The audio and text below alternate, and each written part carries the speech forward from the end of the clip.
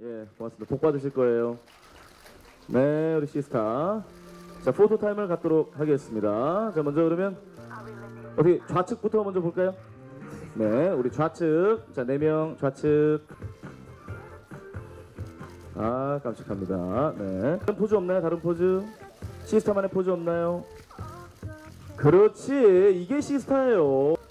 자, 요번에도 씨스타만의 포즈 하나 보여주세요. 우리 기자분들 좋아하시게. 그렇지.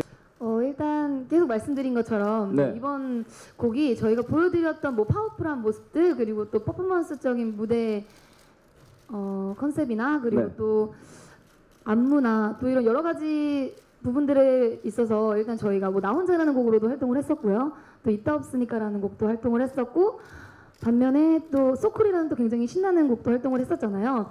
근데 어, 저희가 이번에 기비투미 같은 곡은 저희가 여태까지 활동하면서 보여드렸던 모습들이 총 집합됐다고 해야 되나? 네. 음. 가장 대중적이면서도 저희가 보여드렸던 powerful하고 에너지 넘치는 모습과 그리고 또 저희가 항상 여러분들께 보여드리고 싶어하는 퍼포먼스 위주의 무대 그런 것들을 여러 가지를 한꺼번에 겸비를 했던 네, 음악인 것 같아요. 그러니까 씨스타 매력의 그냥 종합체라고 보면 되겠네요. 네. 씨스타 완전체의 어떤 종합체, 종합판.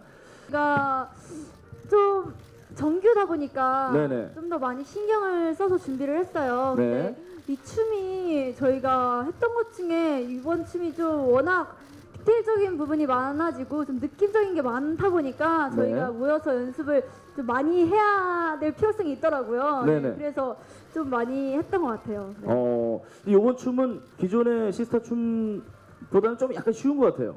어, 네 그죠? 포인트가 딱 있는 춤을 저희가 네. 네 만들어 봤어요. 네 그래서 좀 네. 쉽게 간단하게 이렇게 동작 하나로 네 따라 하실 수 있게 네. 서서 제대로 보여주세요. 아, 이게 이게 따라하려면은 네 한번 서서 약간 좀 느리게 좀 보여주세요. 너무 빠르니까. 자 어떻게 해야 됩니까? 시작.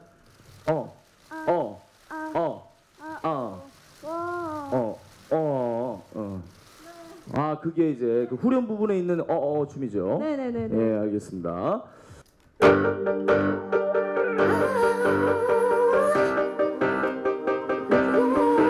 아.